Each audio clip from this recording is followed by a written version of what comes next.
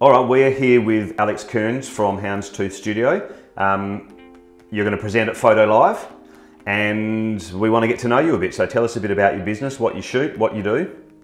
So I photograph pets and animals in a studio. That's my main bread and butter. So clients bring their pets in for studio portrait pictures, like what we have for people, but for pets. And then outside that, I get to travel to some amazing places and I photograph wildlife using natural light. So there's kind of two components to what I do, which I guess is my point of difference in the market. Studio, which is very controlled, and natural light, which is completely random and ad hoc. Wow, so do you go from one to the other and how do you find that transition? They're completely different principles. I sometimes find pets a lot easier in the studio than outdoors, which is why I mostly focus on wildlife outdoors, if I'm being honest.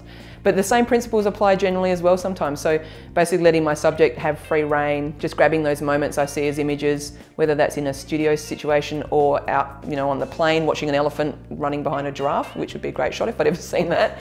So it's kind of, you know, there's similarities, there's ways where they cross over, but obviously using artificial light and using natural light I use different settings on my camera, I use different lenses and I shoot in a completely different way for both. Okay, and is the outdoor wildlife something you do commercially? So the wildlife photography I do, I guess, comes from two different places. One is from tours that I lead. So I travel to lots of exotic locations and I take people on tour who have similar interests to me, I guess. One, photography, but they're also animal people, which is really lovely. We're all on the same page regarding animals and care for animals and how we feel about animals.